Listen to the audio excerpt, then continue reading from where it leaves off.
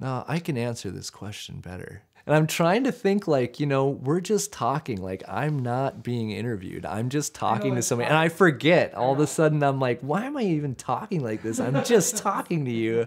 Well, let me tell you about Shane. Shane Balkowitsch is a madman, and don't let anybody tell you different.